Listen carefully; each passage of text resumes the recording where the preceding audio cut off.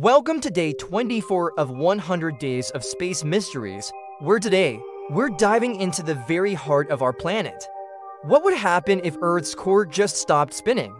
Deep beneath our feet, a molten iron sphere, as big as the moon, spins even faster than the Earth itself.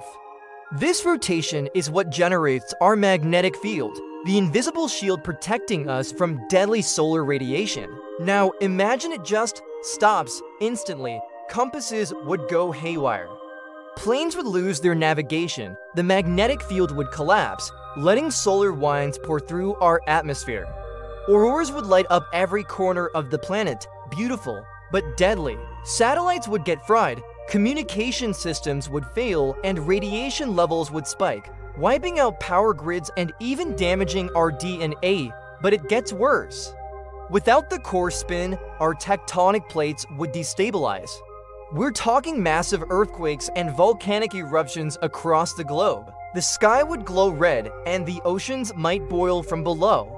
The Earth would tear itself apart from the inside. Here's the scary part some scientists think the core is already slowing down. If it ever stops completely, it's not just the end of the world that's the end of our planet's heartbeat. If that gave you chills, hit subscribe because tomorrow on day 25, we'll explore what happens if the core reverses its spin.